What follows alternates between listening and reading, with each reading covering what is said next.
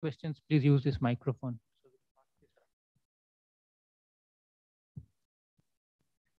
Shall we just give it to them?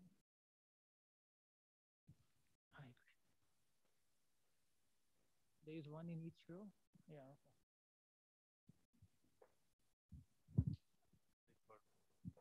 Question.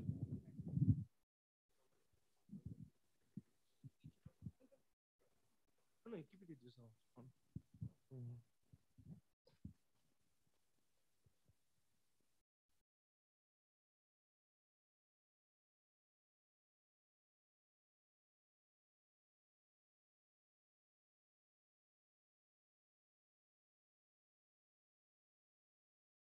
So keep it here.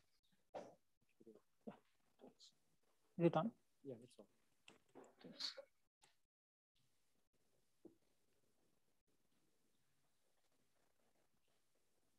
So in my uh, lecture, uh, feel free to stop anytime. This, uh, I, uh, I mean, uh, don't worry about continuity. For this is fine for the pedagogical lectures to stop at any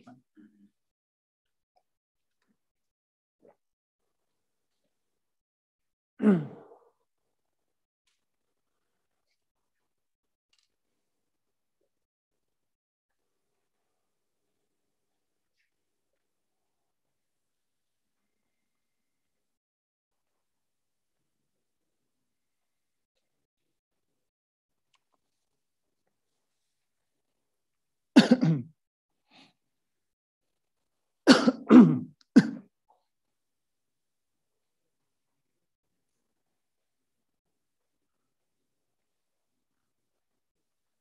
Okay, I think we'll start. Uh, so uh, welcome again. Uh, so what we, uh, uh, so my talk is going to about laser cooling.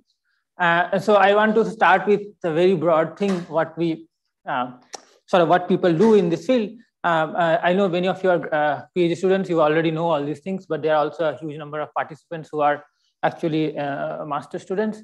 So I want to tell you what, what is really laser cooling, and then slowly we'll go, go into the uh, details and try to take up each point and see how far we can go. So um, see for any laser cooling experiment, you actually, uh, so you want to have atoms cold, but what you actually start with is probably a very hot oven, which you heat up to several, uh, uh, several hundred of degrees. So let's say 200 degrees centigrade. So it gives you, so there is a metal, it gives you some kind of a beam.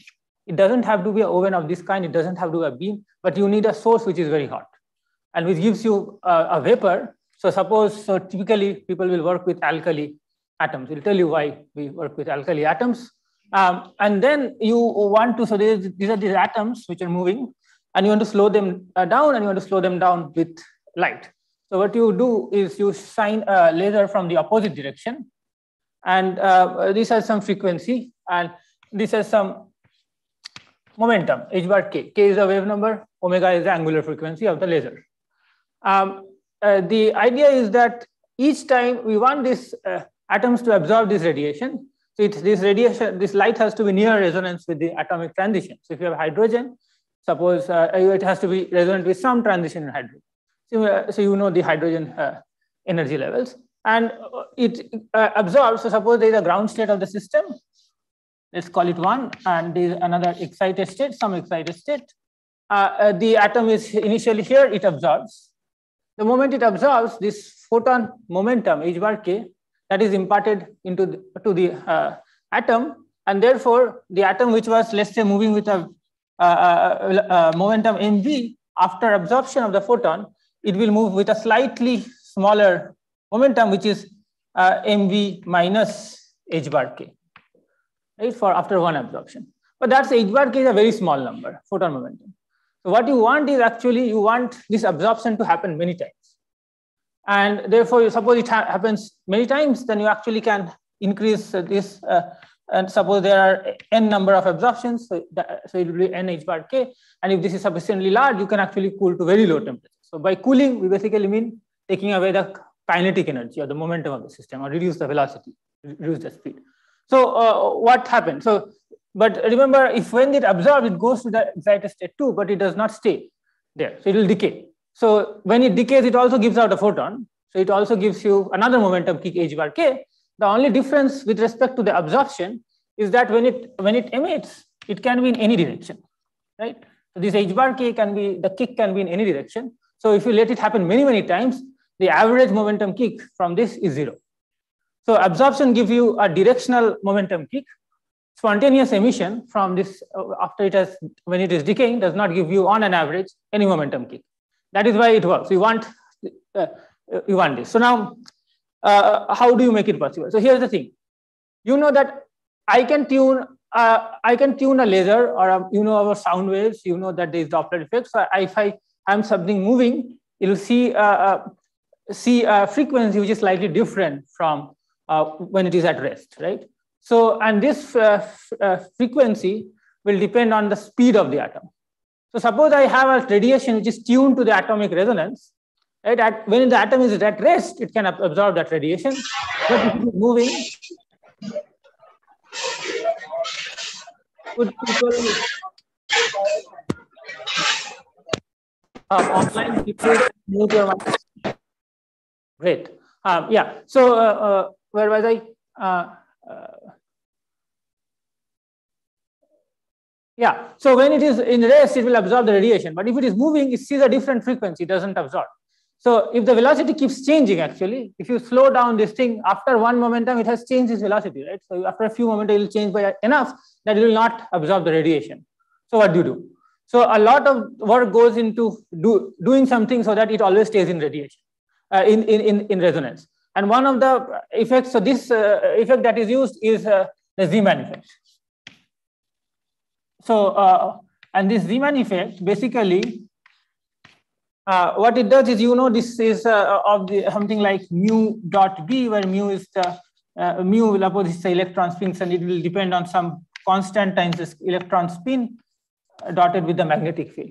So this, what I've written here, is the energy uh, due to this uh, minus energy due to this magnetic field, right? So now you can imagine that you can. so this system's energy, if you apply a time or space dependent magnetic field, let's say it's in the, uh, uh say it's in the uh, z direction, so then it's, it will be a bz kind of thing. So the energy level of the atom itself will depend now start depending on this where it is located. So remember, as the atom is moving, it is also changing its position, right? So if I can tune the energy level of the system such that here the energy levels is like this, here it is like this, here it is like this, here it is like this. I mean, so the two, let's say the ground state is not changing, only the excited state I'm plotting. So if the energy level is changing, and if I can, as it is changing, it is slowing down. So I can play with this uh, velocity and this space dependent magnetic field. And uh, if I have this right, then irrespective of where the atom is and what the velocity is, it will absorb the radiation and um, uh, and slow down. So we'll look at this a little bit uh, in more in details. But uh, what uh, what I'm trying to say is that we have to look at Zeeman effect we have to look at this, uh, which is a basically a two-level system. Essentially, that is all we will end up needing to understand. We'll have to look at um, stimulated and and spontaneous emission, right? So these are the things which are required for me to get it to work. Um, what else do we need? We need that these atoms uh, when they're moving, we don't want any other things to collide and change its uh, interaction with this light, magnetic field, whatever. So we want very high vacuum. So we so typically all experiments will have very high vacuum, uh, uh and uh, and uh, you will um, uh, so so there can be some differential. Sort of here it might be very low vacuum, but you can have a differential stages where you can reach high vacuum. But it is necessary that you have high vacuum. what else? yeah. So so uh, so once uh, it is cooled, you, uh, you can do further cooling. So I think we will not go into the uh, details of how you go. So this is basically uh, what laser cooling does. But then this will uh, take you to very low temperatures, let's say tens of microkelvins. But if you want to go colder, then actually you have to do something, let's say, which is called a dipole trap, which is again a light induced phenomena. So basically uh, and it can again be explained by two-level system.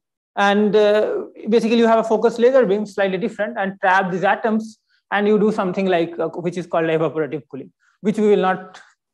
Uh, Uh, yeah, so the uh, thing is that at, at some point of time, uh, when the atom really goes to uh, rest, let's say, this it can still absorb this h bar k momentum, right? So that ultimate limit for laser cooling is that h bar k. So that momentum kick that it provides. So at, at and that will change its increase its velocity, right? So that is the ultimate limit. So if you want to go lower than that, and that is called the recoil limit. The recoil from the single momentum, whatever you get, that is the limit you will actually do in laser cooling. So people want to go below that. Does it? Repeated spontaneous emission creates uh, heating, that is true. And, uh, and therefore, in laser cooling, actually, you do not just what I said right now, on an average, the momentum kick is zero. But if you look at the second moment, there is a, a random walk. So I'll talk about this in detail. So I want to lay the basic uh, uh things first and uh, tell you. Yeah, good, good question. Um, okay, so um, I think we'll now uh, start. Any other question? Yeah, so I think uh, we will. Uh, um, okay, what one more thing you need here, which is the first thing I forgot to say, is that see this cycling, uh, this transition has to uh, it has to always come back. So if you need this kind of a two-level system, right? You if you have uh, more levels, right? And the, if the while when it does spontaneous emission, it comes to another level, then this uh, atom in this uh, another level cannot absorb the same radiation. Therefore, you really need this two-level system. And that uh, is which is what I'm going to start by lecture is this is called uh, basically you need something which is a, a, a cycling transition. So basically, uh, if you go from this state to this state, you only come back to this state. So you have to choose a system which has this property. And alkali atoms are chosen because they have the, this property. So we'll start our uh, discussion. Uh, uh, what is this transition, right? So, um, so we'll start our discussion with, uh, with how this energy level comes out about. So I think everybody is familiar with hydrogen atom. Right?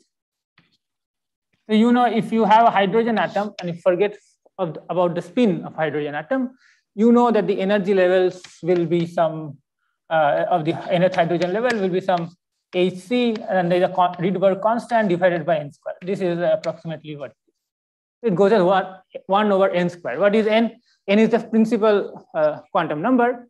So this does not depend on no, uh, no dependence on L. On L, right?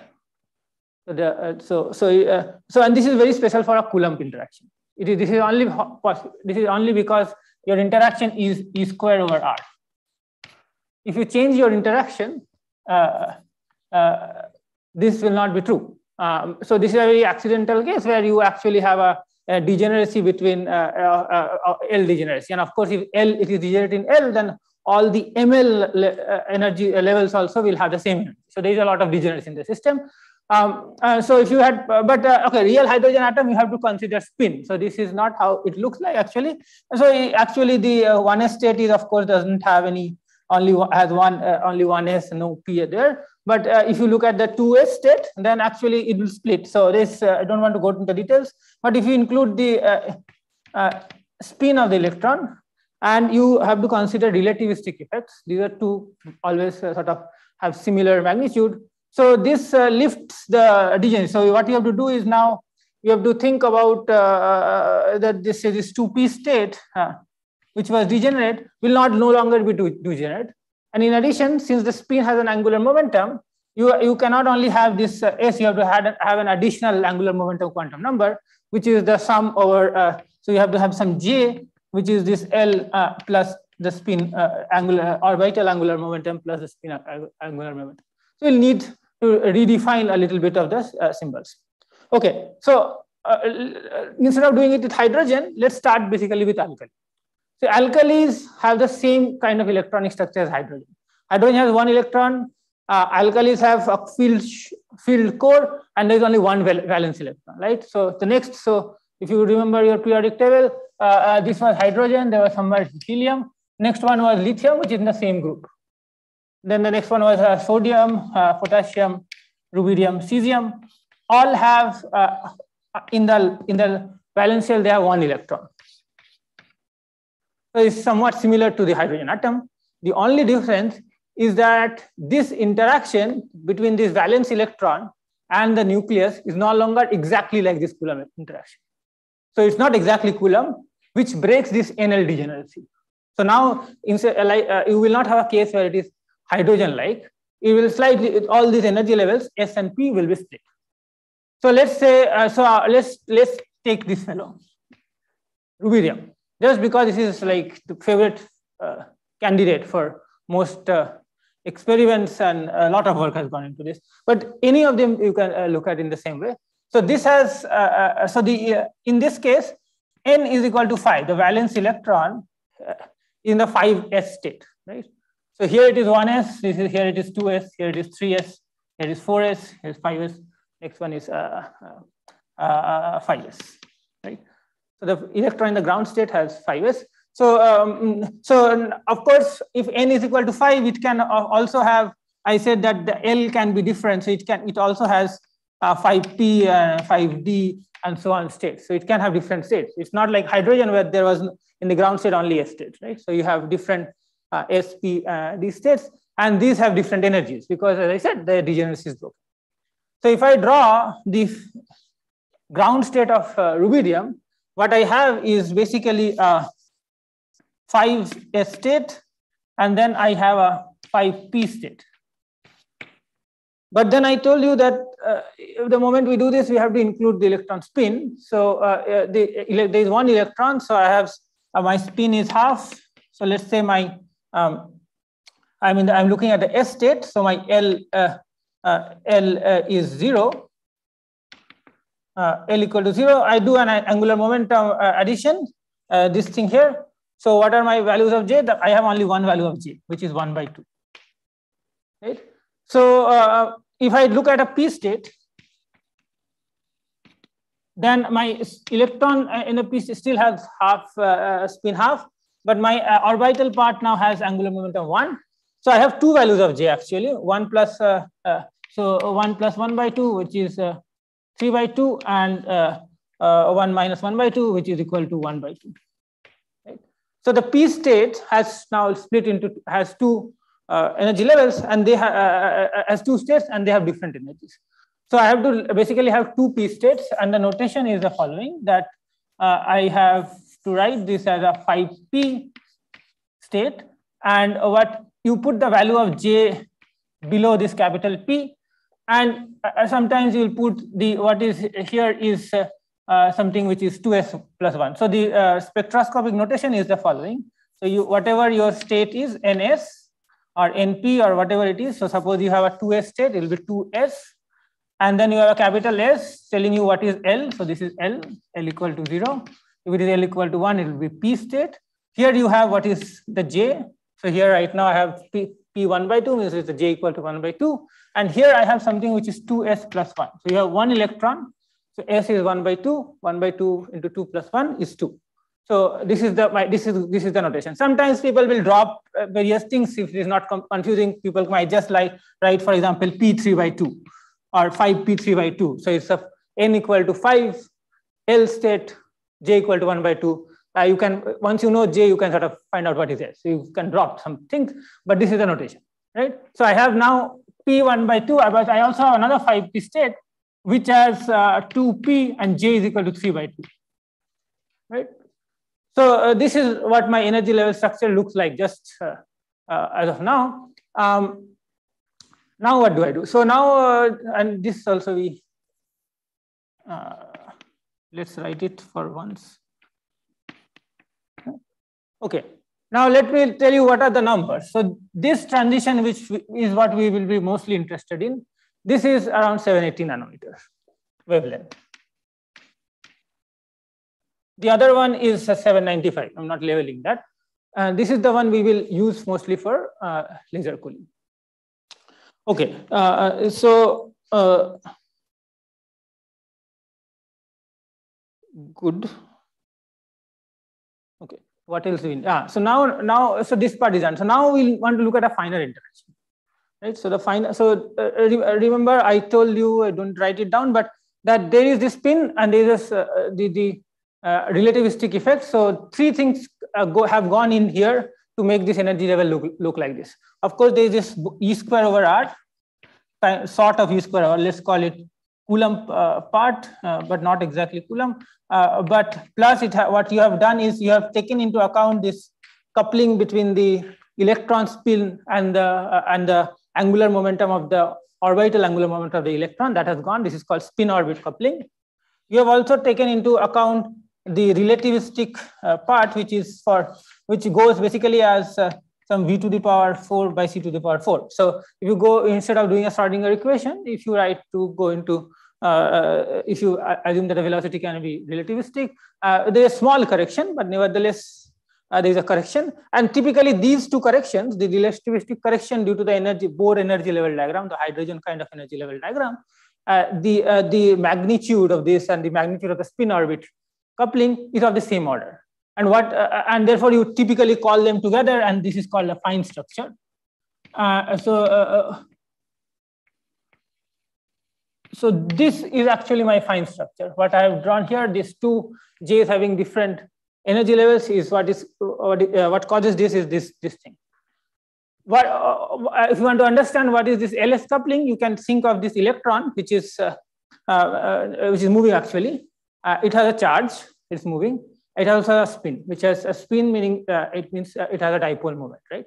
So if you now invert the problem and think that okay, the electron is stationary and it is actually bound to a nucleus, right? So you, in its frame, the nucleus will appear to be moving. So this moving nucleus will produce some magnetic field. Simple uh, uh, basic physics, right? Mu zero I by twice, that kind of field. And this electron spin mu will elect, interact with this magnetic field similar to this mu dot b kind of interaction. And what is mu? Mu is some, uh, some uh, constant times the spin of the electron. So it's S. And this orbital motion is, of course, if you do the math, it will just have some angular momentum. Right? So it's moving the electron nucleus. That will give you this uh, L dot S uh, kind of term. And, uh, and that's called the spin orbit coupling. Okay. Now, uh, if you go, if you look more finely, if you look go, even go finer, then what will happen is that this nucleus, which now uh, was uh, uh which is there, this might have some nuclear spin. So you have some uh, nuclear spin I. Therefore, it will have some uh, nuclear magnetic moment, right? So this nuclear magnetic moment will be will be some so let's say gamma prime uh, times the nuclear magnetic moment, uh, uh, uh, the, the nuclear spin I. Turns out that this number is much smaller than uh, the electron spin. It's smaller by the mass ratio of the proton to the neutron. So it's a very small uh, number, magnetic moment, but it, therefore it will split the energy levels by a small amount, but it will split. So uh, uh, so what how what is happening here is the following that uh, the you should think of can probably think of it is a nucleus which has some nucleus spin i and there is an electron which is moving around right? This electron has some spin s now uh, the, so the uh, interaction this electron suppose it's a s, s electron.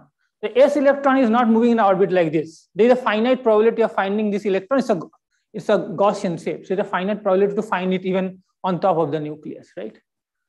So if you so so this total magnetization that this spin has is gamma s, right? So this m is for the spin is uh, uh, of the order uh, gamma s, but this is spread out over this whole uh, wave function. So if I if I say that okay, I want I'm interested in what is the sort of what is the magnetization around this region. Why am I interested in this? If there is a magnetization there, uh, then I know that this, this magnetic field this magnetization will produce is of is proportional to actually m is some constant. This is from classical electrodynamics. I think it's two by three or something, uh, mu zero. So uh, so this magnetic moment that the elect, uh, this spin produces in near the nucleus will now interact with this nuclear moment and give you uh, energy, uh, uh, some energy, mu dot b. So what will that be? So this m is actually proportional to s. Therefore, this mu n uh, uh, dot uh, b will be of the order of mu n is i and uh, this is S, so this will be some interaction which is I dot S. So this is another energy scale with some constant. So let this constant is A. Let's call it A. It's typically what is it. Um, note that it is essential that this uh, there is some probability of finding has to be some probability of the finding the electron in the uh, in the nucleus region, right? And this is highest for S state. You go to P state, D state, this probability reduces. So the hyperfine state uh, level, uh, splitting or this energy scale is the largest for the ground state, which is the S state. Yeah. So if I you are looking at here, it is the ground highest here. So uh, I we can do the one can do this math, and I'm not going to uh, do this. But uh, what will then uh, my energy level now finally look like? My energy will basically split here again. This small splitting. This is this energy level diagram is by no way to scale, right? So the 7, 80, 80 nanometer is actually 384 uh, uh, terahertz, 10 to the power 12 hertz, right? Uh, or, uh, okay, let's write it in something like this, gigahertz, 0, 0, 0 gigahertz. Um, and uh, this splitting, so in the ground state, let's say now this splitting will depend now on the isotope. The isotope effect which is going to come in, which is because these different isotopes have different nuclear spin, right? Because the, the nucleus of rubidium 87 is different from 85, right? Because a different number of neutrons, right? So therefore the nuclear spin uh, will be uh, will be different. Therefore, this energy splitting will be different for the isotope. So before this, there was no isotope dependence. There was small difference which would come from the mass of the isotopes.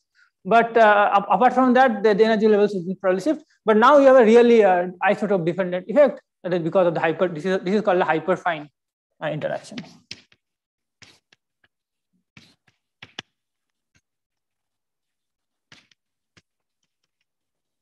Right. So, uh, so what will, uh, so I dot S, so, uh, so I have to, uh, what are the new, basically I will now look at what are the new angular momentum, another scheme like we did for this one to level. So now I have, I already had J, which was uh, here, this uh, one by uh, this fellow here, but now I have an extra uh, angular momentum, which is the spin. So I have to add up these fellows, J plus I, and this gives me F, which is called the hyperfine uh, quantum number, right, F.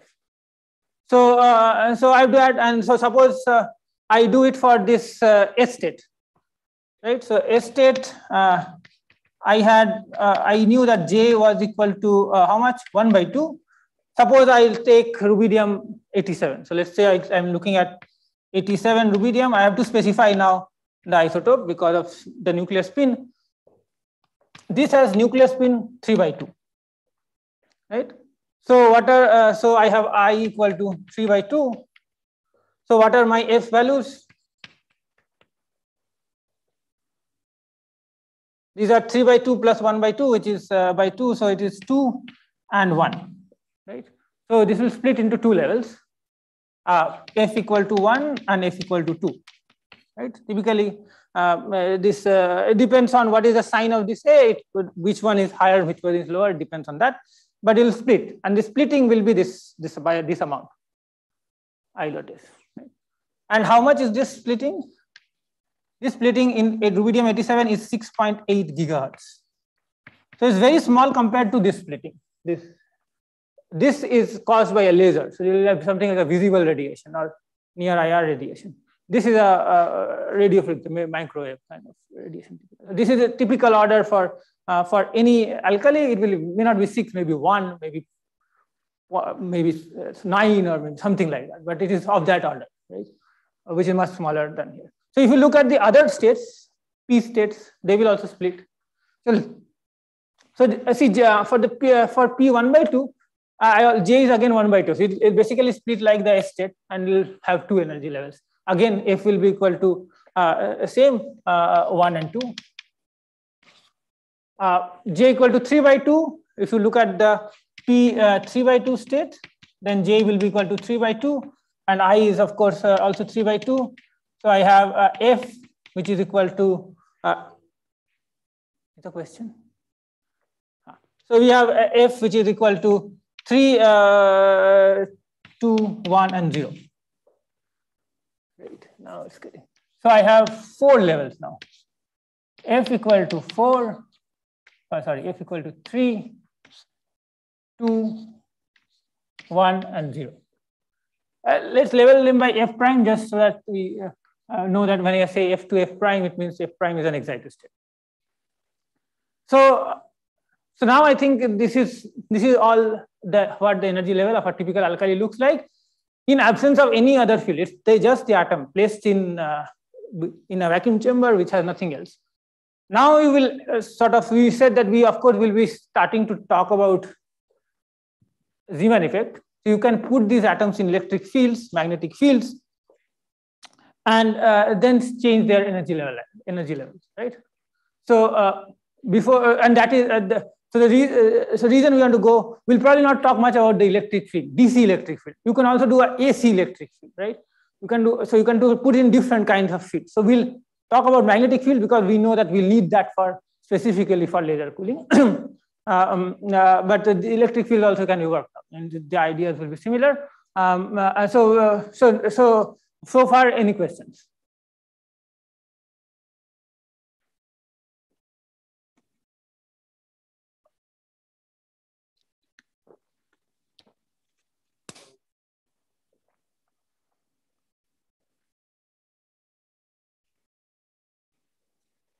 Is that actually we are building the Hamiltonian in that way. Like we start from Coulomb uh, and LS, we include the LS interaction and uh, we do the relativistic correction. Is You there need- is there any other like You uh, could, you could, yeah. We, we were more familiar with uh, uh, non-relativistic uh, Hamiltonian, so we know the Schrodinger equation. So I'm assuming that we, everybody then at least a bachelor's knows the uh, Schrodinger equation. So you- this is the typical way one introduces instead of just putting an putting a, a, equation and then trying to solve it. So uh, and this uh, we would like to do it in this way also because it's easier to think of and relate to. If I do a, just a, a, start with the equation and solve it, I will we ha- have a very hard time finding a correction connection between hydrogen and let's say uh, alkali.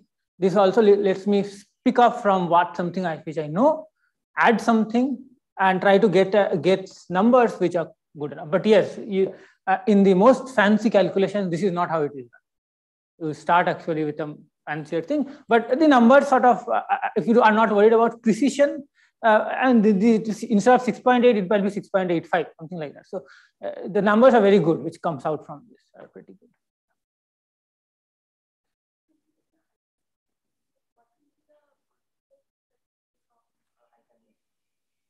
Okay, so first of all, note that hydrogen atom in the ground state is a S state, right?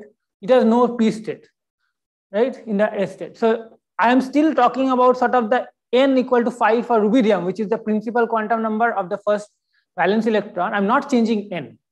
I'm only changing the angular part, right, with the laser. Of course, rubidium will have other, so next state is actually a 4D state where the n is different. And this, uh, uh, by the way, you know that this energy levels will, it's not like after n, all the uh, n equal to 5, then n equal to 6 star. It's not like that, it's jumbled up. But we are uh, considering only the n equal to 5 principal. Hydrogen, of course, 1s has not, nothing else where it, you can go right? It doesn't have a 1p. So uh, laser cooling of hydrogen is difficult, first another problem is that the next state, if you want to go from 1s to 2s, that's a highly forbidden transition. That doesn't is not allowed by selection. So you could, uh, so then, but you could do uh, 1s to 2p.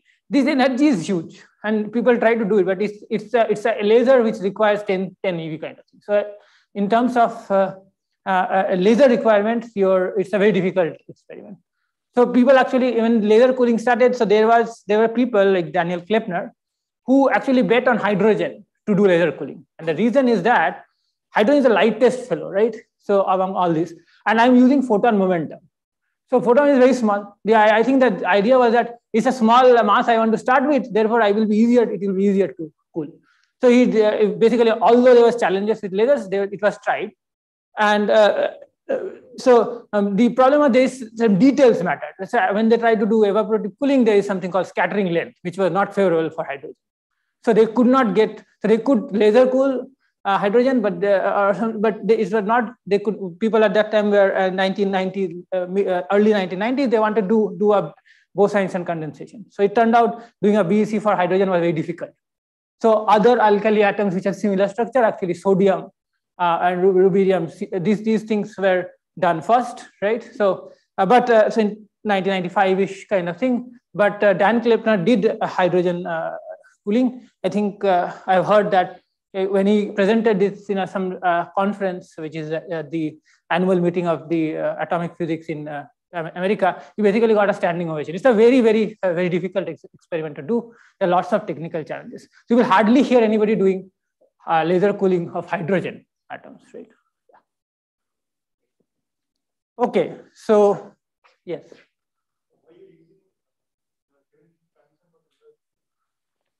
Hello. Yeah. Why you are using the 780 transition for laser cooling? Why not 795? I'll, I'll, I'll I'm going to I'm going to talk about this. Okay, okay. Thank you, sir. So this. Okay. Uh, so I'll talk about it after I do the magnetic field. I'll talk in details. Okay. Or maybe it's better to just do it this way. Or maybe let's let's start since you asked let's maybe just do the uh, the light interaction part. So okay so so far this is the atom. Uh, let us let us wait on this Zeeman effect. Let us talk about this little bit later. Uh, uh, what happens when you put in a field uh, uh, or maybe no it's just okay let me just finish up the Zeeman effect. This so okay so this is this energy level so Zeeman effect is what i'm talking about so uh, what uh,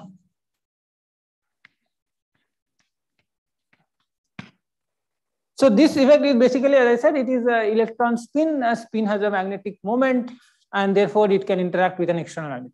Right? This is Zeeman effect.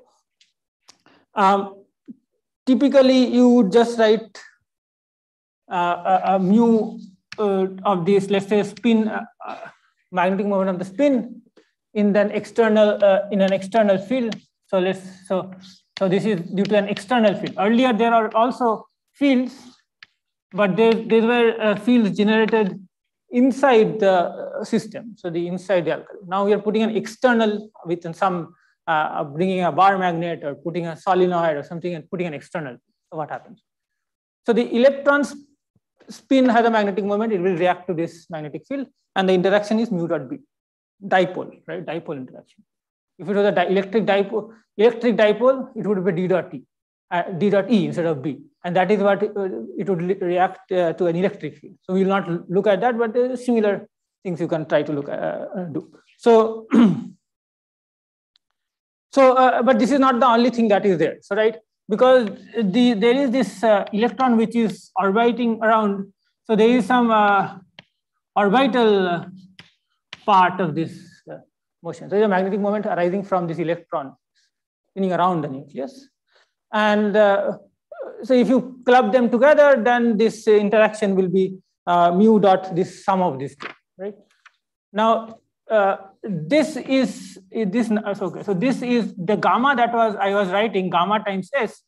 So this is minus mu dot b minus mu dot l. So this gamma is actually e by m for the elect for the spin part, multiplied by S. Here it is E by 2M. So there is a uh, there is a difference between in this gamma, and this can this is not really explained in terms of uh, in uh, in non-relativistic uh, Schrodinger equation. We have to, uh, it comes from uh, relativity, that factor of two for the spin. But in in our case, we just put it by hand, so they are different.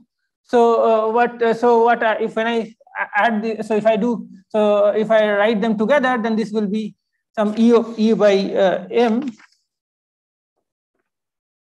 So what it, will be E by, let's say, right, E by 2M, then this will be um, L plus 2S kind of interaction, right? Dot B. So uh, this is my uh, interaction uh, of the L, uh, when I consider L and S together, the magnetic moments are arising from both together. Um, how do you, so this will create, give you some energy, right? Uh, so like we did, we said that So this A dot J, for example, A I dot A I dot S give you some energy splitting. How do you do how do you calculate this energy splitting? You take whatever your energy levels was here, and then you use first order, let's say perturbation theory. And this you would consider as a perturbation Hamiltonian and find the expectation value of that perturbation Hamiltonian. That will give you the first order correction to the energy. And that is what I have written there. You do a similar thing for this fellow. So you consider this as a uh, perturbation, let's say, right? And try, to, try to calculate it. Now, whenever you say that it's perturbation, you have to say that, okay, this perturbation is small compared to something, right? And if it is a very large number, then you cannot really consider it as a perturbation. So there are different energy scales. We know these are what, what it is. So if it is very, suppose this is a very large number, actually, and it's so large that uh, it is larger than even this splitting, let's say this hyper, this fine structure this splitting, right? So actually in that case, you don't need this, these J levels are not what are the good levels because the perturbation Hamiltonian itself is larger than this. So actually you just start with the NL states. So you say that I have 5p state, 5s state, no, forget about J. And then you find to first order, this is the biggest additional term. So you find out what is the correction this will provide for the NL states, right? And that is easy because uh, that easy to calculate from this one. So you know the, this is uh, L, I, if I sandwich it in between some N, uh, some NL kind of state, I know I'll get the expectation value of it. So suppose this was, suppose my magnetic field was in the uh, Z direction. So I suppose B was in the uh, uh, Z cap direction. Then I have yeah, so then I have this, I have some interaction, which is this constant times Lz plus twice Sz times B, right? Now this Lz, I know if I put, put an NL state and I do my first order uh, but uh, using for the first order perturbation theory, this Lz is uh, will give when I sandwich it, it will just give me ML, right?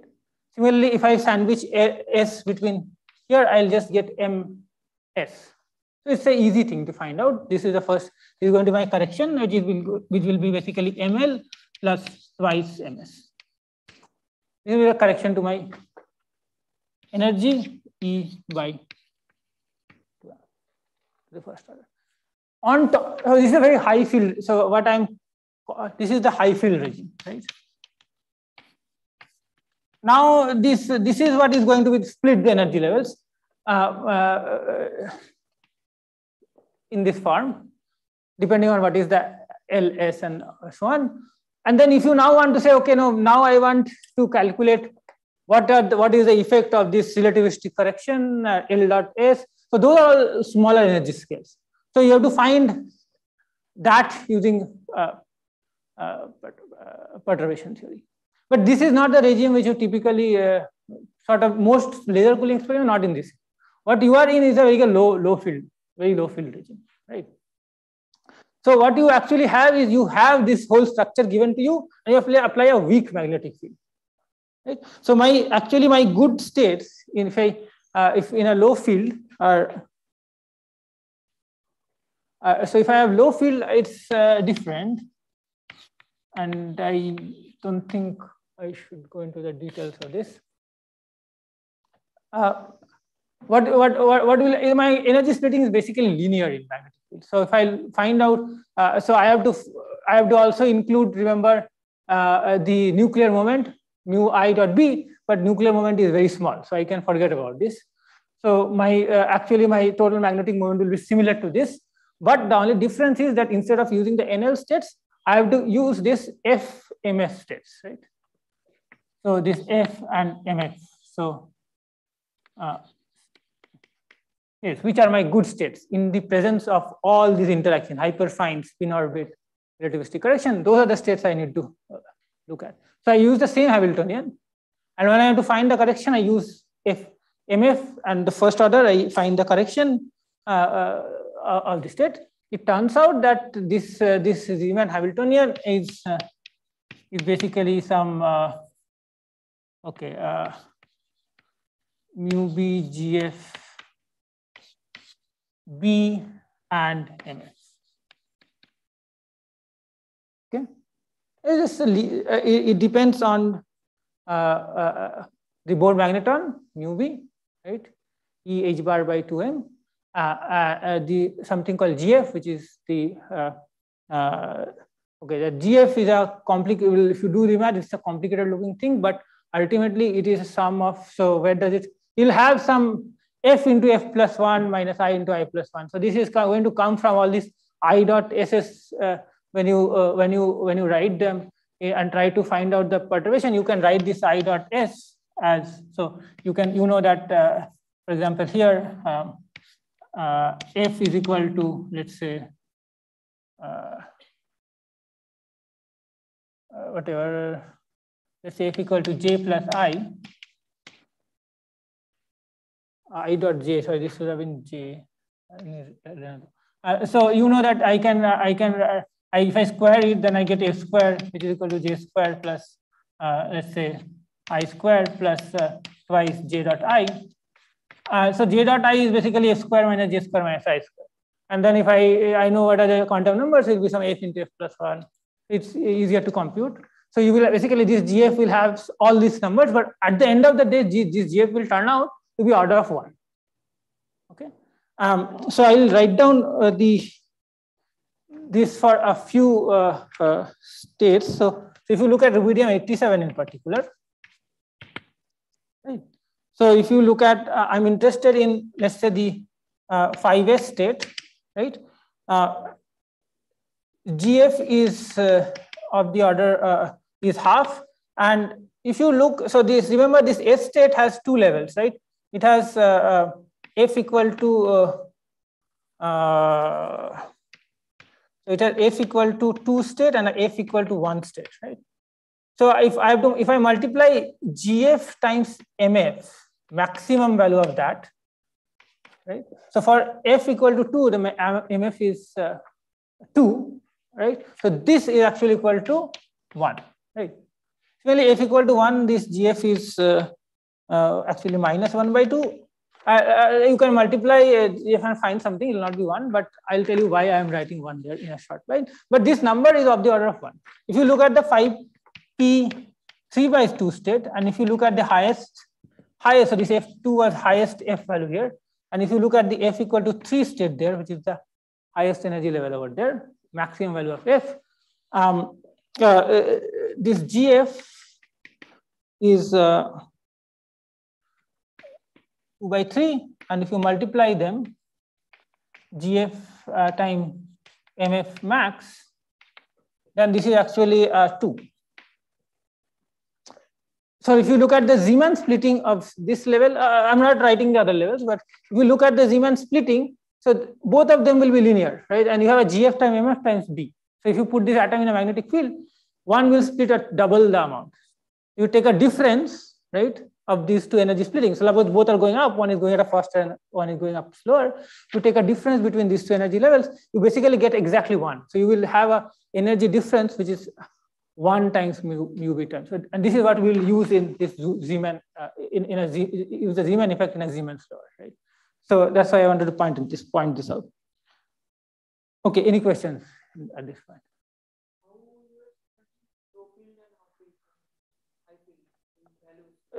values. I mean, what? Uh, so, um, can you rephrase the question? Huh. Okay, uh, okay, you want the numbers. Yeah, yeah. So this will be, let's say, a few Gauss. I mean, let's say this is very low field. I, mm, yeah, let's say, let's say less than, let's say five Gauss. That fellow will be, uh, this will be huge, right? This, this needs to be, this field needs to be many, many Gauss. It has to be sort of comparable to the uh, so it is, it is a perturbative approach. So you have to basically see what is the energy scale where I don't know clear cutoff, but uh, uh, you have to look at the energy scale. So what that defined for different system will be slightly different. But yeah, low field may be five Gauss and But the important thing is that uh, for the so, so it turns out that for the uh, highest MF state, if uh, if one MF state is going up, the, the, that those two states that we have made more prominent than the others, they actually sort of keep going up linearly, okay, even at relatively high uh, field. So if you go to even uh, 100 Gauss, it is uh. Okay. Uh, good. So um, now let us start. Uh, now let us start our discussion on the uh, third part, which is which I need is the two-level system, right? Uh, so I want my uh, uh, I want to uh, look at the interaction of uh, uh, of a of a atom in field in a in a field, right? So.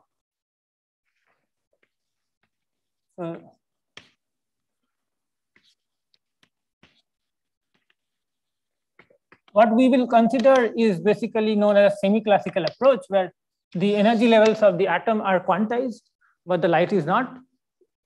I know I already used that photon analogy, so that's already not the correct thing to, but we'll develop it in a, so we'll not be very strict about how we are developing it. So right now what we'll do is what is known as semi-classical approach, but the atom energy levels are quantized, but the field is not quantized, right?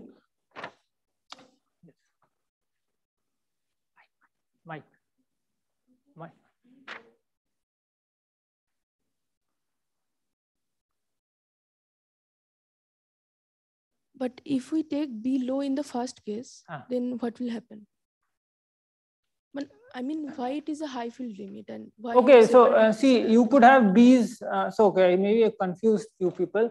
Uh, uh, so I could have B uh, in the different. So this external field could be B could be one Gauss. B could also be.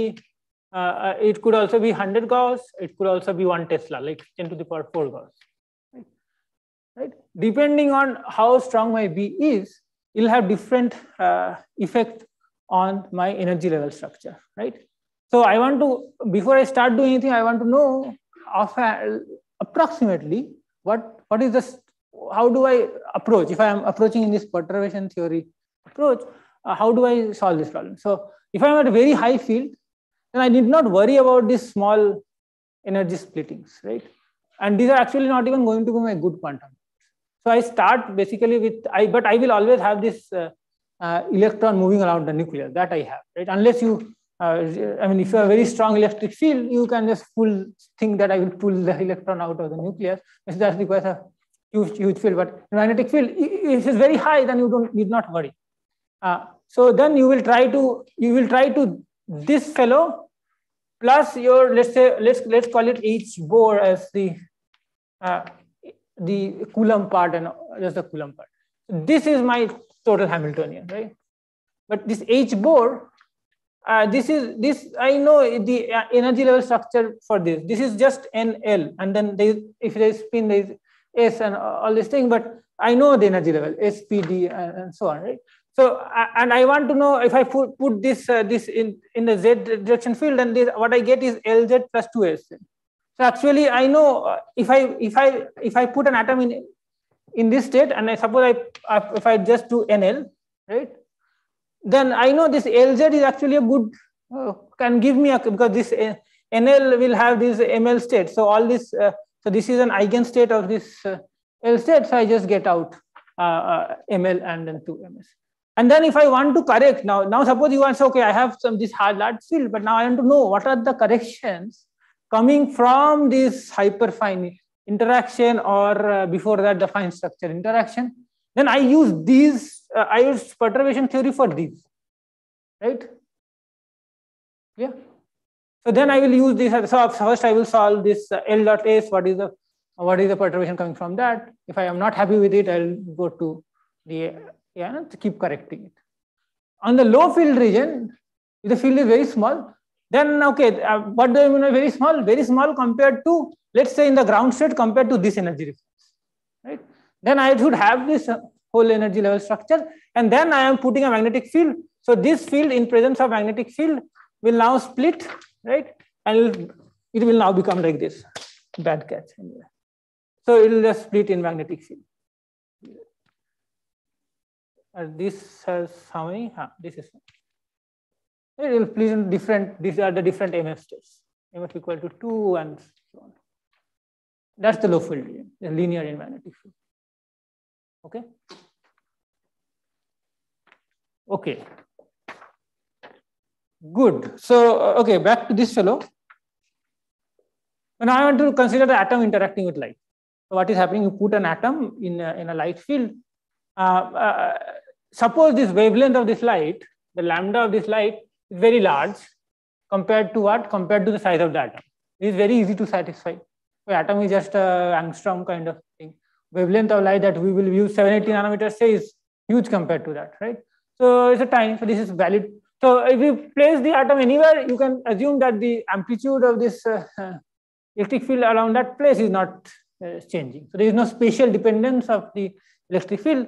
So the electric field is more or less spatial, uh, same amplitude, but I have I have the atom here, but the field has a so the electric a plane. Suppose it's a plane wave. So it's a it has a z e to the power i omega 2 minus k minus omega t minus kz. So I'm saying that, that this z they have locate, localized z, then therefore this, this e is not changing much over there. So I can forget about the spatial variation.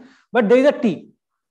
So there is a time variation of the electric field. So basically the atom uh, is basically seeing that the electric field is going up and down. As you know, I mean the, the electric field oscillates. So basically it sees a E0 cos omega t kind of oscillation, right? So if you have this E0, so, so, so what we have is basically some electric field. We forget about uh, the spatial variation. And this, by the way, is called uh, dipole approximation. Uh, uh, yeah, dipole approximation. I mean, uh, uh, you can come at it in a different way. So people typically will write as a to, e to the power i k dot x, expand it and show you that, okay, this is actually just the first term in that expansion. KR uh, kind of thing. But uh, this is the physics, uh, basically the ultimate thing. so now in this electric field, this, so okay, so now I want, so now what is happening? There is a nucleus which is heavier than the electron, right? So the electron responds much faster than the nucleus. Therefore, there will be sort of a charge separation. So the, the, the, electron can go farther away from the nucleus. And therefore, there is basically a the, the, the, electron wave function basically is getting distorted. It's not, suppose it was a S state was spherically symmetric given. Now, uh, or a P state, which is uh, some looking like something like a dumbbell, you, you put an electric field, the electron goes further away. So, it, so the charge separation get distorted. This induces to the first order a dipole moment. Right? So that is this. Uh, uh, so this is this dipole moment in the dipole approximation. You can have higher moments, right? But those will be smaller energy scales, right? So uh, we just restrict, let's say, to the, the dipole moment created by this electric. Uh, so then now we have a uh, we have a dipole in an electric field, and we know what is the interaction. It is uh, it is simply uh, minus d dot t, right? And uh, let's call this interaction Hamilton. What is this d? d is you know d is this uh, uh, so this is suppose this is a nucleus and you have pulled the electron out somewhere. So this distance of this nucleus basically uh, of the electron from the nucleus let's call it r.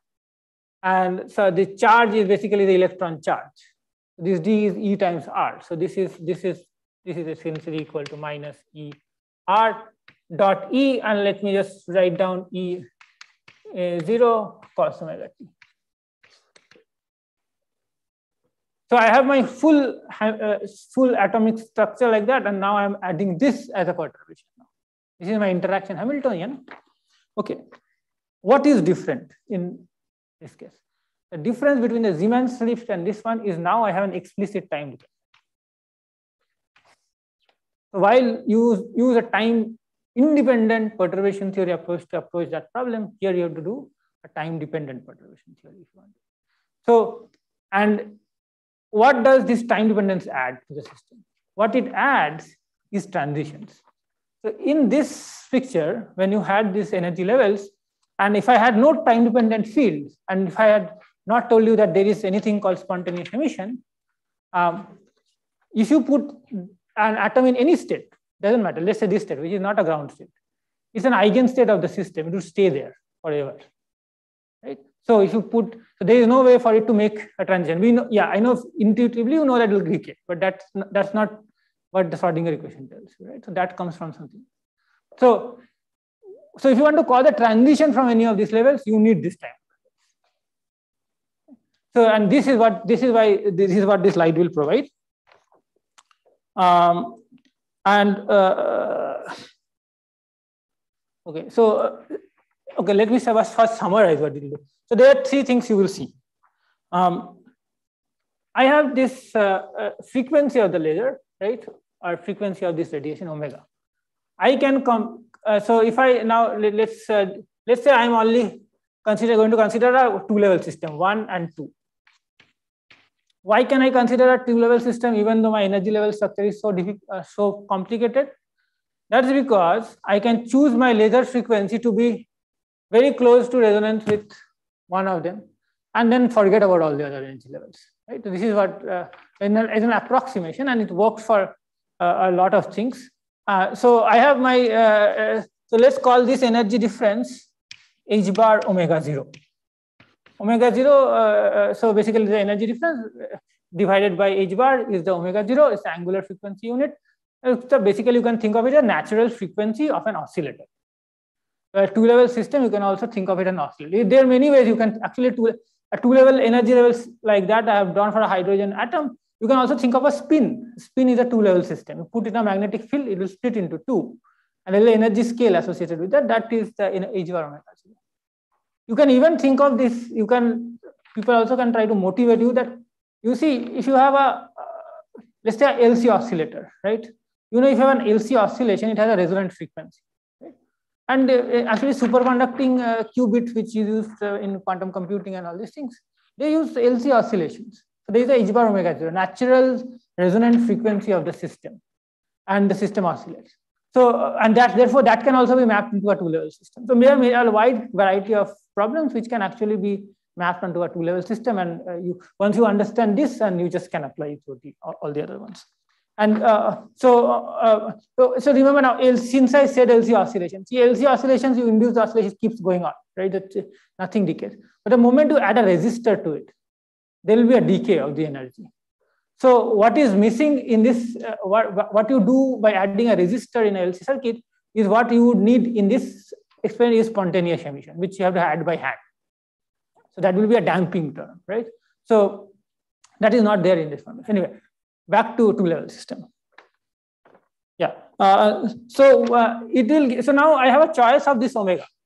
So if omega is around omega zero, so this laser frequency, this omega is the laser frequency,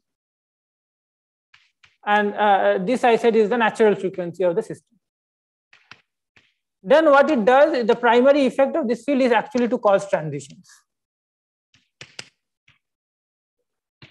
It will take you from this state to that state, back to this state, and so on.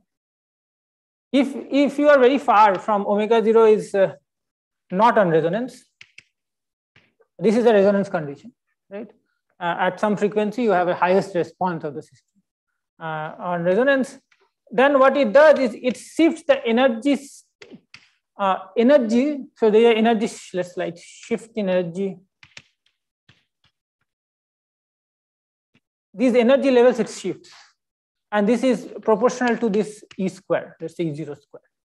So the primary, this is the primary thing that it does. Not the only thing, but this is the most important thing. Shift energy. Not, it does not cause transition because my laser is not on resonance, is far away or far, far, far, far from here to here or from here to here, it will shift the energy level.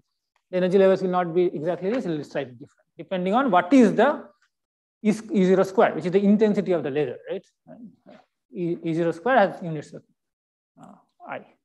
Um, in, I mean, divided by all the area. So, um, the third thing uh, it'll do is it'll give you selection rules. Right. So this uh, uh, uh this perturbation and this interaction will give selection. How so? So if I where is the selection rules? where are they? Where are they coming from? So what I do is suppose I, in this H interaction, I just, I do basically nothing. I just, I say that this I will write as, I'll just in, insert two identity operators, let's say. Uh, so if I, even if I have uh, many states, I'll just introduce, let's say, uh let's say F, F, then uh, one identity here and another identity on, uh, on this, this side, right? I've done nothing to the HI. But in writing in this way, what I have done is I have found, I found a matrix element. I have one state I, another state F. I will sum over all of them, right? Fine. So, but uh, you see, for this, uh, um, unless this fellow is non-zero, right, you don't have a transition, right? So your this will define. So this matrix element better be non-zero uh, if you want to have a transition from any state to another, one state to another state. And this is what will give you the selection. So I think this uh, you have probably these, these are electric dipole selection rules, which you probably have already seen, similar to whatever you have looked at hydrogen atom, all the things will apply, um, but you will have slightly more complicated things because of the hyperfine and all. So what are the, these selection rules? Uh, the first thing is that uh, this will give you delta L equal to, uh, uh sorry, delta L, not delta S, delta L equal to plus minus one. So uh, the orbital angular momentum can change by one unit, right? That's what it will give you. It will tell you that this S cannot change because this electric field, uh, this Hamiltonian, which is a perturbing Hamiltonian now, does not have any spin dependence. So it does not alter the spin in some sense. Um, uh, similarly, it will have uh, uh, delta J is actually zero or plus minus one, um, except that uh, J equal to zero to J prime equal to zero is not allowed. Right? And we had also uh, uh our delta F selection rules, which is also going to be 0 plus minus 1. And F equal to 0 to F prime equal to 0 is not allowed. You have similar selection rule for MF also, or ML, MJ, right? And uh, these, uh, uh, these MF or ML or this selection rule depends on the polarization of light. Okay, so what is the polarization of light? It is this coming to come from this E0, which is a vector right now. So depending on whether the how the electric field is oriented, whether it's just a linearly polarized light or a circularly polarized light or so on, uh, that so you know I mean you can map it into a spheric sort of a spherical harmonic. So this the spherical harmonic basically come into play, and uh, you uh, depending on uh, on what so if you have a light which is right circularly polarized, you have uh, let's say delta MF or even MJ whatever you want. They all this have have to be plus one. If you have a sigma minus uh, polarization, then this delta MF has to be minus one. And if you have a, a linear polarization, uh, then your delta F, MF has to be equal to zero. Okay, so now uh, uh, this at this point, uh, I can answer one of the questions which were asked that why are we considering this transition? So remember what we want. We want that the atom, once it goes from this state to uh, that uh, state, it comes back exactly to this state and not to any other state. And this transition will allow us to do this. So if you have your, uh, if you have a laser which is tuned from here to around here, so if the atom starts out here, you can, uh, you can go to f equal to 3, that is allowed, delta f equal to 1. Go there, uh, all the other things will be allowed. See, the S delta L has changed by 1. You can check all these things will be allowed. J is also changed by 1.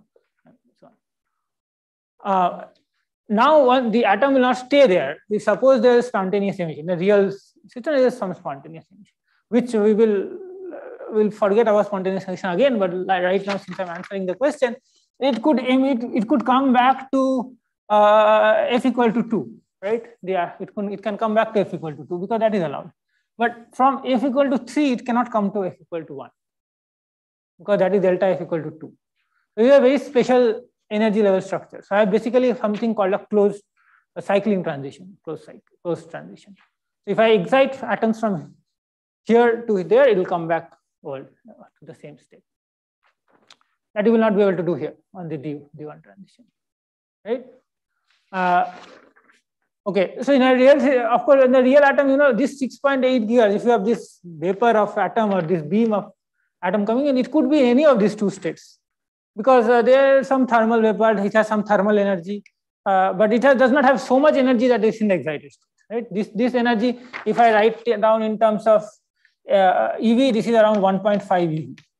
If I write in terms of temperature, KBT, it's very high, more than more than 10,000, right? Kelvins. So uh, that what is coming out is basically in the, this ground state, but it could be in any of these two states. And uh, this is an energy scale where actually both of them are equally populated. What is the population is e to the power, this is the e to the power minus beta, where this one, one over kBT times the energy difference, right? That is the statistical mechanically how you find out what is the probability of finding a state, right? Depending on the energy. They are, they are equally populated. So in fact, there will be atoms here. So uh, what do you do about those atoms? You basically put another weak laser. Uh, let's say it is uh, tuned to from here to let's say here. The f equal to 1 to f equal to 2. So from 2, it can come back to 1 also, but it can also go back to 2. Right? Um, if it uh, uh, so once it goes back to 2, it falls in the cycling transition and starts uh, absorbing. So you're basically so this is one one way, one level of optical pumping. You have just uh, introduced a laser which has pumped your system to a different uh, state which where it cycles. I don't know. You could also this, this is a very powerful technique because you could also now you put a magnetic field and then you have split the MF levels also. And now you have to satisfy for a different polarization of lights, you have to satisfy those MF selection rules. You can do an optical pumping also using those MF states, depending on what is your laser polarization. Right? Okay, so you and your question is answered. Okay, so now again I will forget about uh, spontaneous emission. I'll bring it again back later. So suppose I have only this two system, which is interact this two level system interact, interaction with interacting with the Hamiltonian. Um, so suppose my so suppose my without interaction my Hamiltonian was H zero and it had it gave me some energy level En and some eigenstates n, right? Now I want to know what is this uh, uh, HI doing right? So this uh, hi, which is now remember, is a function of t. Right? So I have to find out the correction. So what I do is I take any, suppose I have, an, I have a system in an arbitrary, arbitrary state t. I can expand it in terms of this known eigenenergies. In this case, I have only two levels, right? One and two, right? Ket1 and Ket2. So, uh, uh, so now since it is a function of t, uh, you would, in general, you would, you know, the expansion would be something, some constant, let's say C1 e to the power. How do the energy levels evolve in terms of uh, in time? You know, the, the, the evolution of the, these states are e to the power uh, uh minus i en t by h bar. This is how it evolves in time. This is Schrodinger equation.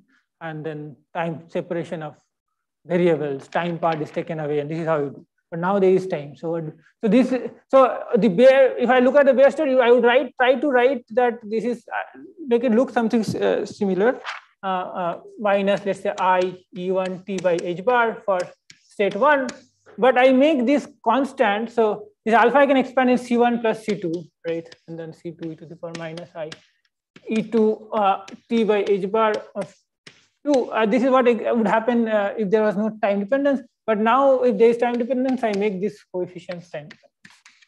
And you could say that I will not write it in this form. I will just take this whole thing and write as a function of t, some c bar prime t. That's also fine. But this is uh, this is a nice way to write it because if you drop the time dependence, you get back uh, your uh, uh your the regular thing which you would get for non-time dependent So this is the, this is how you basically for convenience you write it this way?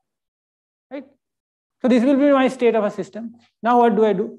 I basically plug this in in the Schrodinger equation. Um,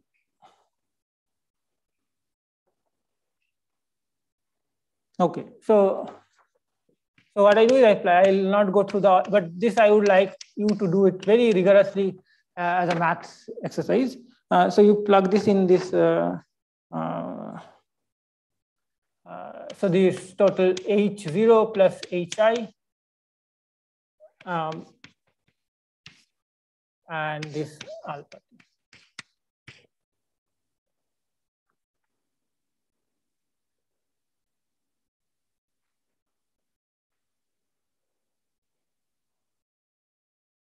Okay, so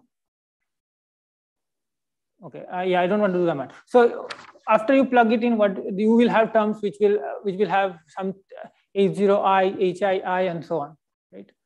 Um, uh, so uh, similarly with with coefficient C1 and C2 and so on. So the first thing you do is uh, after doing this, you hit it with uh, a bra of one from the left.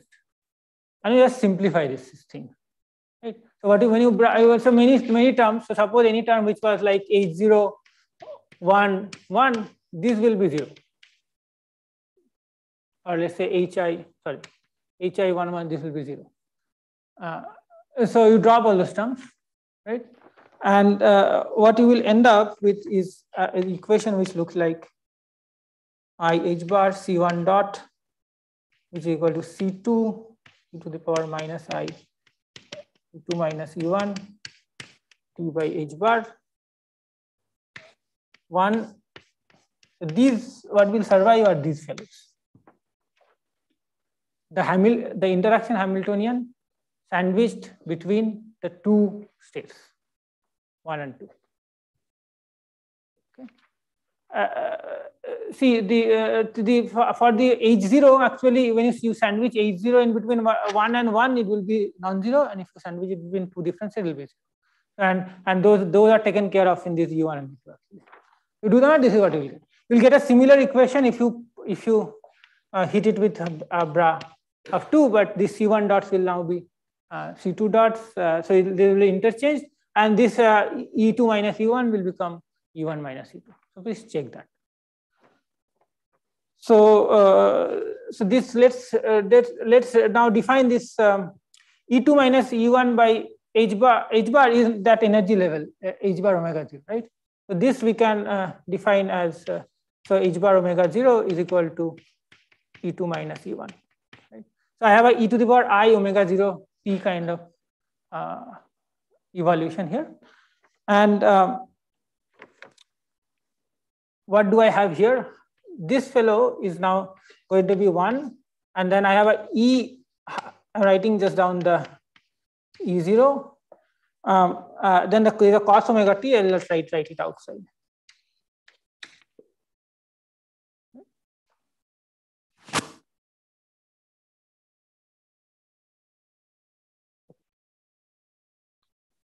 This fellow is called let's call it h bar omega, this is some energy, and this omega is called the Rabi frequency.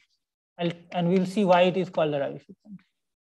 And is why it's, of course, a frequency in it, you'll see what this means. So this interaction, remember, it depends on the strength of the interaction. E0 is nothing but the electric field. So this gives you a, a, the energy scale, and this gives you a frequency, which is the interaction. Okay, so if you if you put this uh, simplification in, then uh, you will write you will get this again this i h bar c1 dot you can write it as uh, omega cos omega t e to the power minus i omega 0 t c2. Similarly, you will get another equation which is i h bar or for the second one, which is C2 dot is equal to omega star actually cos omega t e to the power i omega 0 t c1. Now you have to solve this differential. This basically now is a problem of differential equation. You have to solve it. So what you do is you take a double derivative of this c1 dot. You will get c1 double dot. You will get a c2 dot and blah, blah, blah. Even wherever you see a C2 dot, you plug in this fellow on the, on the right. That, that depends basically on C1. So you can eliminate one of those. You will get a second order differential equation in let's say C1 dot or C2 dot. So do this for C2 dot. Eliminate C1 dot. The reason is that what are the C is that uh, I'm asking you to do that is because suppose you wanted to start with a case where your initially the atom was here um, so you're at t equal to 0, the atom was in this state. At C1 uh, t equal to 0, if you look at the mod square of that, that is 1. Right?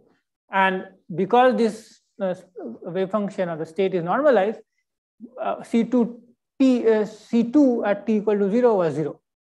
Right? So you so I want to start with 0 and I see how C2 evolves with time. So if you eliminate C, uh, you just eliminate and find the differential equation of this one. Uh, uh, okay, so now what do I do? I think a lot of this can be erased. probably also time.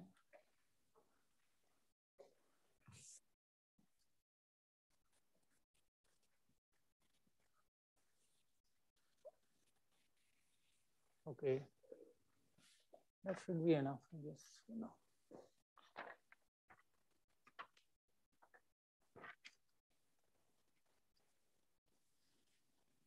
Okay, so ultimately what you get, uh, this is the Rabi model again.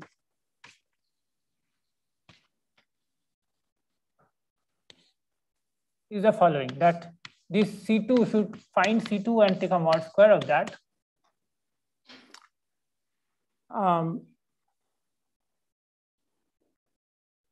I'll get omega square divided by omega square plus delta square. What is delta? Uh, delta is basically uh, omega minus omega 0. So Laser frequency minus the resonance frequency. Okay, so this is this comes out from the math, and so you you know that there are this there is omega 0 and omega in, uh, in there, um, so actually, you have to do uh, uh, something which is known as the uh, rotating wave approximation. So this cos omega t you write as e to the power i omega t plus e to the power minus i omega t divided by 2. So now this e to the power i omega t, when you multiply, so this with e to the power minus i omega 0 t, you will have either a omega plus omega 0 t or omega minus omega 0 t. Right? So what you do is you drop the omega plus omega 0 term. This is called the ro rotating wave approximation. So uh, what it means, okay, difficult to you know, sort of picture. So, but if you uh, think about this spin uh, or this magnetic field, it is not so difficult. So suppose you have a very strong magnetic field, put an electron spin or angular momentum the electron spin, suppose the magnetic field is in this direction. You put an electric field. So what? Suppose the spin was in this direction. This strong field will precess around this magnetic field, right? So it has a precession frequency. That's, that is the natural frequency, omega zero. That is that mu dot b. That is the frequency. Okay. Um, now you want to make a transition. Suppose I want to flip the spin instead of precessing like this. I want it to precess like this. That would be my plus half to minus half transition. So I, I said that this will happen. So in analogy, this will happen when I introduce some time dependent Hamiltonian. So in this spin case, this time dependent Hamiltonian can be introduced by having a small transverse field in not in this, this. This is a strong, very strong magnetic field. But you put a weak magnetic field in the transverse direction, but this is time dependent. This has to be a small time dependence. And one way to do it is that say I, this magnetic field is not uh, time dependent, but this magnet is rotating. Yes. Is also time dependence, right? Suppose this rotation is at a frequency omega, which is my sort of my laser frequency, right? So you see, this will be a rotation frequency and this is a precession frequency. There's a very special condition when this precession frequency and this rotation frequency match, right? If they match, then I have a frame where I, everything appears static, right? So that the resonance where omega equal to omega zero, everything appears static. If I'm slightly off omega equal to omega zero, then one is one has this is slightly faster and the other is slightly slower. So if I will have two, if I if I do omega plus omega zero, I have a case which is very fast, and it will still time average out. What will matter is a small if the, the, the omega minus omega part. That is what is the response of the system. That is what will eventually give you uh, uh, uh, the physics you are interested in and that is uh, that is basically rotating wave. You drop one of the uh, so the spin half system is very neat. So if you want, you can just do it, apply a small magnetic field in the uh, rotating magnetic field, and do us with just with spins. Uh, uh, try to do it. It, works out beautifully. Okay, so the uh, I think we have to stop in some time. So this fellow, this Rabi fellow, this is detuning is omega minus omega zero, and you will have a sine square square root over this same thing omega square plus delta square by 2.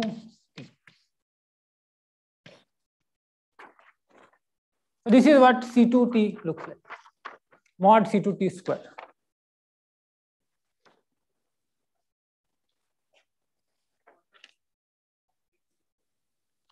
Uh, yeah, you can, it can be real, but yeah, it's typically real, but yeah, I've defined it that way because uh, see what will happen is that you will have this flipped.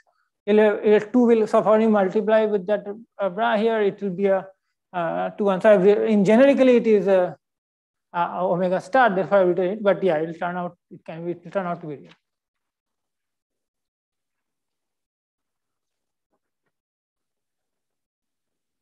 So we, we, when we talk about Rabi frequency, we typically say omega and then we omega star. We don't call Rabi frequency. I mean, but yeah, it will be mostly uh, real. So don't uh, uh, worry about it. We can drop it if you want. Okay. So uh, what? Uh, so what is what does it? What what is the system doing now? So I have a I have a two level system. I have a drive which is at omega zero, and this is the probability of finding the system in state two. So suppose I look at a very special case, which is delta equal to zero. That is omega drive frequency is equal to the resonant frequency. Immediately you see that if I put delta equal to zero, the amplitude becomes one. Right? So it's a one times sine omega t. Right? It's a sinusoidal oscillation with amplitude one, which means the probability of finding C2T or the system at state two at some point of time is going to be one. Right? It's simply uh, uh, basically so C2T mod square is simply equal to sine squared, right?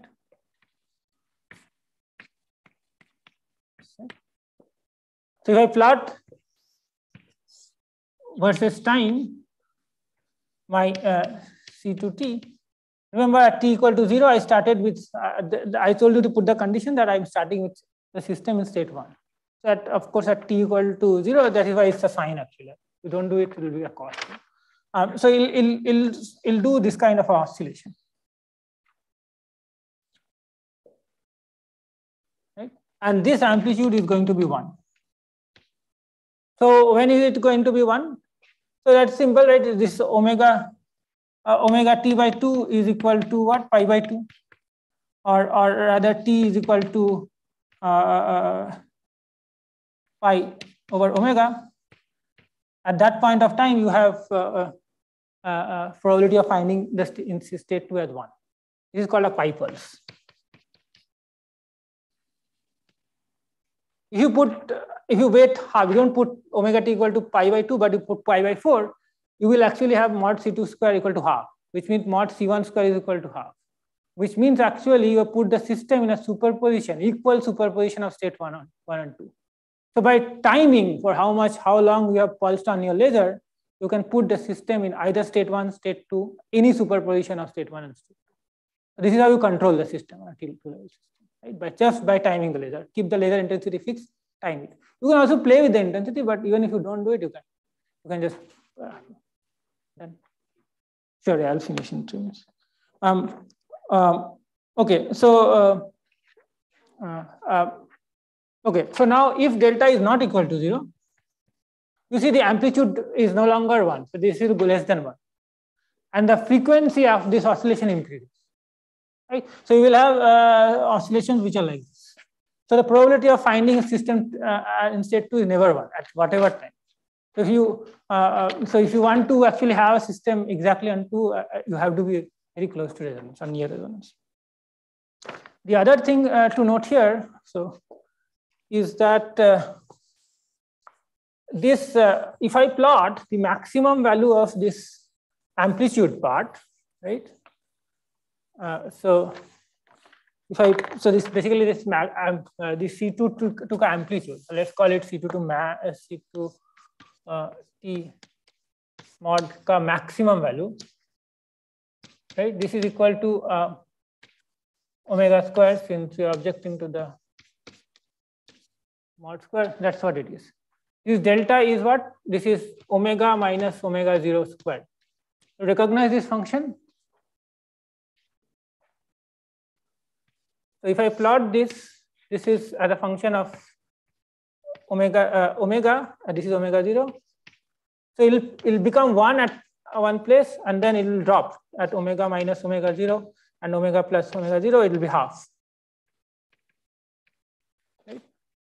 Uh, this is a Lorentzian. Okay.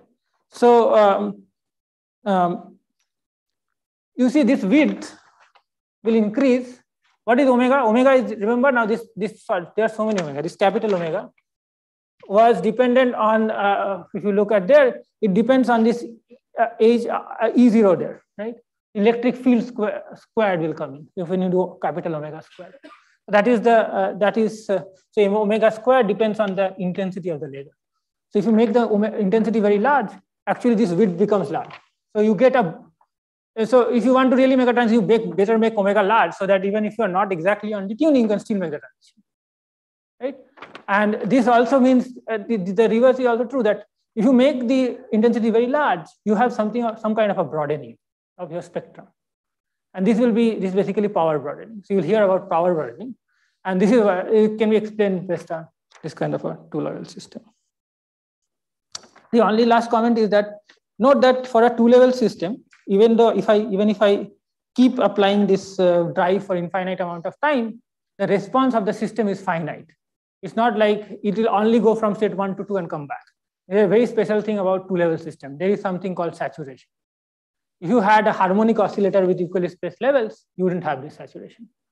So it's absolutely important so uh, that you have some kind of a, uh, you don't have an exact harmonic oscillator, then it, does, not, does not work. You have to have some kind of a, many things will depend on this. So uh, yeah, so I think uh, time is over, so I think we'll stop here, but I head towards T, but if you have questions, please either discuss there or burning questions, anything.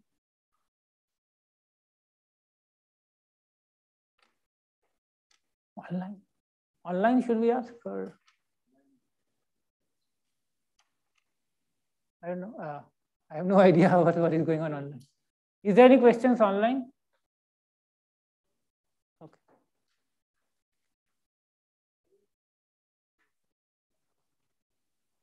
Ah, okay.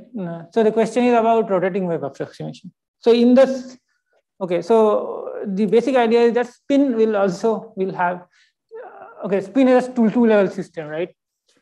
Spin, uh, spin half is plus half or minus half. I'm basically trying to say that, um, uh, so those, those who work can uh, sort of want to go ahead, outside, go ahead. Um, so I'm thinking about trying to think about it classically. So I have a spin. I have two states uh, in, in, in a spin. I have two states basically. I'm, I'm only worried, worried about suppose I fix my quantization actually around the z direction. Suppose I have a strong magnetic field in the z direction. It's either up spin or down spin with respect to that if I put a spin and same some uh, I spin, uh, let's think of a spin is in this in this or angular momentum in this direction. If I have a strong magnet, it will rotate. So this mu dot b, so a, a, magnet in a magnetic field will precess around the magnetic field. This is what uh, will happen, right? And this precession frequency is omega zero. What is omega zero? Is, is turns out is nothing but this mu dot b term that the energy scale you get. So this omega, this is omega zero. The energy uh, which the system has uh, in this field divided by h bar. Now this omega zero, I'll keep doing it, but now suppose I want to flip it. I want to make it rotate like this, which means I flip the spin from plus up to minus up. On an average, I mean, if when it's rotating, I mean, see the only the, the transverse component averages out. So what only the projection along the z direction which survives. So basically, I have essentially a spin pointing up. Um, uh, now, uh, you see, uh, if, uh, if I want to make a transition, what I'm saying is that you have to put a field in the transverse direction. And it cannot be a static field. It has, to be a field which is time dependent. Because if it's a static field, your magnetic field will just change its direction and the pin will precess around that. So what you have to do is you have to trans make, if, but if you make this field rotate, so you can do a different kind of, you can just make it oscillate. And that's what the, in the, is done in experiments. You just have a field in the transverse direction, make it oscillate. But even, even an oscillating field like this can be mapped into a two rotating one ro fields, one rotating clockwise and one rotating clock counterclockwise. So suppose for simplicity, I said I have put a magnetic field, it rotates in the transverse direction with some frequency omega, which in this case analogously will be the laser frequency. Right? If my laser this rotation frequency matches this natural frequency, right? And if so, you can think that they are moving to, together. And therefore, if I have a frame, uh, I can appear. If I'm sitting in the uh, in this frame, I'm basically seeing everything as static, right? So this is a very special case, right? So that's the resonance case. Everything basically, uh, basically in this case, actually the magnetic effect of this strong magnetic field in this direction cancels out. If you do the math, and the system will basically start precessing about this extra magnetic field which is rotating uh, it will basically precess around this small magnetic field. So what is, and how does it precess around this? This is a rotation about like this, right? So if you stop at the right moment, then you, when, when it is here, then you have flipped the spin. And you take it out, and you start precessing around the strong magnetic field. So, and whatever the rotating wave approximation is that if I am not on resonance, then I don't have this special case of static. So I could either be very, I could have this omega plus omega zero and omega minus omega zero. When I am close, omega minus omega zero, slow motion, right? It's a small difference in frequency. Omega plus omega zero is much faster. So that faster one basically averages out. The small, smaller one is what we are interested in. Anything else? If not, basically let's head for. And we meet at 11.30.